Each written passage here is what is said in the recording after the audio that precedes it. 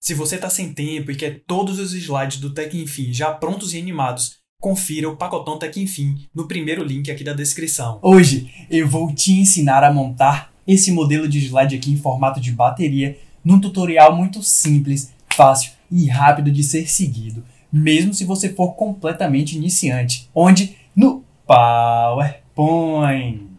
Se esse é o seu primeiro vídeo aqui no canal, já se inscreve porque aqui no Tech Enfim tá cheio de conteúdo que vai te destacar profissionalmente. Sem demora, vamos começar aqui o nosso tutorial, inserindo um retângulo comum, clica nele, arrasta e solta de qualquer jeito. Aqui no tamanho vamos colocar 3,5 em cima e 6,5 embaixo. Ajusta esse retângulo que a gente criou. Aqui mesmo, depois a gente vai ajustar todo um alinhamento. Aperta Ctrl D de dado para duplicar o retângulo, coloca ele aqui embaixo certinho assim, alinhado, como você está vendo aqui, e aperta Ctrl D mais uma vez. Agora seleciona todo mundo aqui, aperta Ctrl D de dado, vamos colocar essa segunda parte nessa região e aperta Ctrl D de dado. Pronto, já temos toda a estrutura aqui central da nossa bateria. Agora está faltando a gente colocar os polos positivos e negativos. Para isso, a gente vai colocar aqui na página inicial, clica nessa seta e vamos colocar essa penúltima forma aqui de retângulo. Clica nela, arrasta e solta de qualquer jeito. A gente vai rotacionar desse jeito aqui que você está vendo, certo? Com a parte reta na esquerda e a curva aqui na direita. Falando em curva, pega esse círculo amarelo aqui de baixo e arrasta ele todo para cima deixando essa região mais curva ainda, ok? Essa daqui a gente vai deixar com esse ângulo de 90 graus mesmo. Aqui agora clica e a gente vai colocar o comprimento exato aqui da nossa da parte interna da nossa bateria. Eu vou reduzir um pouco o tamanho. Se você quiser colocar, coloca exatamente essa medida aqui, tá vendo? 0,99 em cima, 10,5 embaixo e você vai chegar exatamente nessa conformação. Lembrando que tem que pegar esse círculo laranja e puxar todo ele para cima. Agora a gente vai clicar nesse retângulo aqui de cantos arredondados, clica nele, arrasta e solta assim de qualquer jeito. Pega esse círculo laranja, clica e arrasta ele todo para a direita, rotaciona desse jeito aqui para ele ficar na vertical e vamos colocar nessa porção aqui da nossa bateria. Eu vou colocar um pouco maior, vou trazer mais para dentro, pronto. A medida exata dele é 1,01 em cima e 1,73 embaixo. Agora, vamos pegar aqui essa parte comprida que a gente criou do polo positivo, Ctrl D de dado, vamos trazer aqui para o outro lado, rotaciona dessa forma, para que a parte reta fique encostando aqui nessa região, pronto. E agora a gente vai afinar um pouco mais essa aqui que fica nesse lado esquerdo, dessa forma, tendo essa configuração aqui de tamanho, 0,57 em cima e 10,5 embaixo. Vamos agrupar esses dois elementos aqui, dessa parte positiva aqui da nossa bateria, tanto o círculo quanto a parte do retângulo maior. Vamos lá, aqui em formato de forma, agrupa e agrupa. A gente vai deixar todo mundo com contorno se você acompanha os vídeos do canal, já percebeu que a gente sempre começa removendo os contornos aqui de cada um dos elementos, mas dessa vez a gente vai deixá-los para a gente visualizar melhor o que a gente vai fazer. Agora a gente vai colorir cada uma dessas partes com essas cores aqui dessa paleta de cores. Para você pegar essa paleta para o seu computador, você vai clicar no conjunto de teclas que está aqui do meu lado. Como eu estou no Windows, eu vou apertar Shift bandeira do Windows S aqui agora junto comigo no vídeo do YouTube que você está me assistindo, aperta aí Shift bandeira do Windows S, certo? A tela do Windows escurece e ele está esperando que você selecione para tirar o print. Então, selecione essa paleta de cores que você está vendo aqui agora e pronto. Você só precisa voltar no seu PowerPoint e apertar Ctrl V.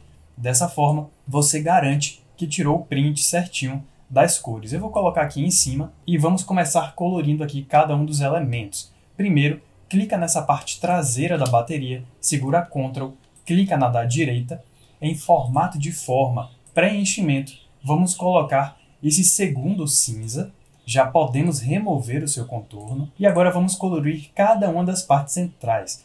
Clica aqui nessa parte de cima, preenchimento de forma, conta-gotas, escolhe o vermelho mais escuro. Se você não tem conta-gotas aí no seu computador, vem em preenchimento, mais cores e aqui em código hexadecimal você vai digitar cada um desses códigos que você está vendo aqui. Para adiantar, eu vou usar somente o conta-gotas, ok? Cancelo. Aqui você vem em preenchimento, conta-gotas, escolhe o vermelho intermediário e no de baixo, preenchimento, conta-gotas e clica aqui na parte mais clara do vermelho. Vamos fazendo isso aqui para as outras cores também, azul mais escuro, azul intermediário, pega com conta-gotas aqui no azul mais claro, certo? Vamos fazendo rapidinho aqui, verde escuro, vamos agora copiar o verde intermediário e finalizar copiando o verde mais claro. Pronto, a gente já coloriu tudo que a gente precisa aqui no nosso slide, já posso apagar essa paleta de cores e agora vamos selecionar toda essa parte central, formato de forma, contorno de forma, e agora sim nós podemos remover esse contorno.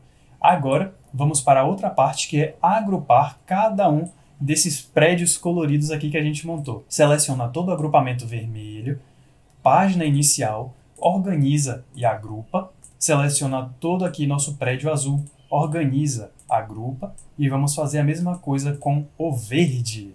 Agora que todos os itens estão agrupados, vamos selecionar aqui todo mundo, formato de forma, alinhar, vamos alinhar todo mundo ao meio para garantir e depois voltem a alinhar e aperta distribuir horizontalmente para tudo ficar com o espaçamento certinho, beleza? Vamos agora trazer aqui rapidinho as caixas de texto e eu já volto. Pronto, eu acabei aqui de trazer as caixas de texto e você vai colocar para o título de cada bloco a fonte Agency FB, tamanho 36, negrito, centralizado e a cor de todo o nosso texto será branco, certo? Aqui no texto que fica abaixo vai ter outra fonte, ela é Gil Sans MT, tamanho 17, não coloca negrito, centralizado e a cor também será branco. Coloque essas caixas de texto para cada um desses blocos e agora a gente vai seguir para a parte dos ícones. A gente precisa colocar três ícones dentro de cada um desses blocos. Então, para isso, você vem aqui na descrição do vídeo e lá vai ter os três links que vão te levar para o site Flat Icon, onde você vai poder baixar gratuitamente esses ícones, tá bom? Lá você vai ver que tem o formato PNG e SVG. Para você colocar o ícone branco sombreado, você precisa baixar o SVG, tá? Porque o PNG ele só fica preto. Mas o SVG ele não é aceito em todas as versões. Então, vai na descrição, baixa o formato SVG e testa. Se funcionar, ótimo. Se não funcionar, os ícones vão ficar pretos no formato PNG mesmo, tá bom? Partindo do pressuposto que você já baixou os ícones, se você baixou no formato SVG, eles vão ficar assim na sua pasta de downloads. Eu quero que você selecione os três ícones, clica e arrasta aqui dentro do slide. Se funcionou o SVG, cada um dos ícones vai aparecer dessa forma aqui, tá? E se não funcionou, ficar aparecendo uns símbolos de internet, volta lá nos links da descrição e baixa o formato PNG.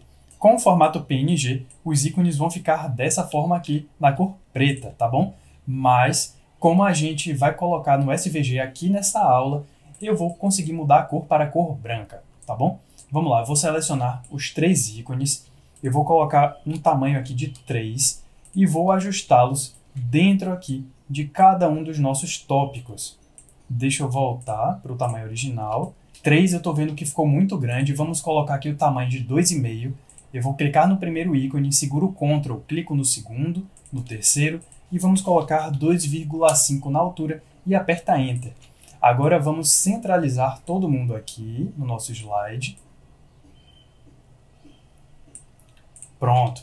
E vamos colocar na cor branca. Eu vou clicar no primeiro ícone e seguro Ctrl mais uma vez. Clico nos outros, preenchimento na cor branca, efeito, sombra e escolhe essa sombra central. Agora, mais uma vez, vamos agrupar todos os elementos aqui do nosso slide. Eu agrupei aqui nosso prédio vermelho, página inicial, organiza e agrupa. Selecionei o segundo bloco, organiza e agrupa. E o terceiro bloco, organiza e agrupa. Pronto, com todo esse design que a gente montou agrupado, a gente pode seguir para a melhor parte, que são as animações. Então vamos lá para as animações, painel de animação, e eu preciso que você lembre como foi a animação que a gente montou. A gente tinha essa parte aqui das extremidades no centro e a gente colocou uma animação para elas abrirem. Como é que a gente vai fazer isso? A gente vai clicar nessa parte da direita, com a seta da direita, você vem apertando, opa, tá por trás. Deixa eu apertar Ctrl Z. Certo, a gente precisa colocar na frente toda essa parte cinza. Então clica nessa daqui, segura Ctrl, clica na outra, formato de forma, clica nessa seta de avançar e traz para frente. Porque você já vai entender. Clica aqui nessa parte da esquerda, vem com a seta da direita e traz aqui até a parte central, mais ou menos. Não precisa ficar exatamente no centro. Agora clica na da direita e com a seta da esquerda a gente vem trazendo até eles encostarem. Pronto, encostou, perfeito. A gente colocou trazer para frente porque a gente quer que essas duas formas fiquem na frente das partes coloridas, tá bom? A gente trouxe eles para o centro, agora a gente precisa levá-los para as extremidades novamente. Para isso, a gente clica nessa parte da direita, animações, adicionar animação, linhas, e agora nessa parte sombreada aqui, a animação está mostrando, ó, a gente vai trazer do ponto verde até o ponto vermelho. Só que onde é o nosso ponto, a linha de chegada, é aqui, tá vendo? Então você vai pegar nesse círculo vermelho e trazer ele até essa posição aqui. Deixa eu te mostrar, ele traz até essa região, tá bom? Vamos fazer a mesma coisa aqui com a nossa parte da esquerda, adicionar animação, linhas e a gente vai pegar esse círculo vermelho e trazer toda essa parte sombreada para essa região daqui. Agora, a gente vai clicar no primeiro, segura Ctrl, clica na segunda animação com o anterior. Agora que a gente já colocou a animação para esses dois blocos acinzentados aqui no meio, vamos colocar animações em cada um dos blocos coloridos. Clica aqui no vermelho, apagar, queremos que ele apague da esquerda para a direita, com o anterior, a duração será de 0,75 e o atraso será de 1,5.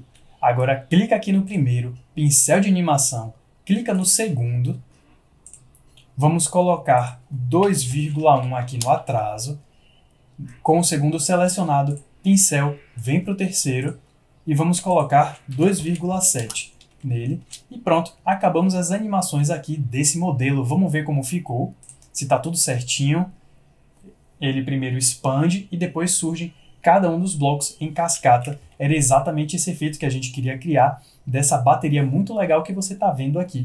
Porém, esse slide que você está vendo é somente um. Se você quiser criar outros slides para compor a sua apresentação perfeita, eu vou te recomendar os vídeos dessa playlist aqui do canal, onde tem vídeos onde eu ensino a montar slides tipo esse ou até melhores. Então, corre lá na playlist, assiste os outros vídeos, se você ainda não fez isso, já se inscreve, ativa o sininho de notificações, deixa seu like e eu te encontro no próximo tutorial.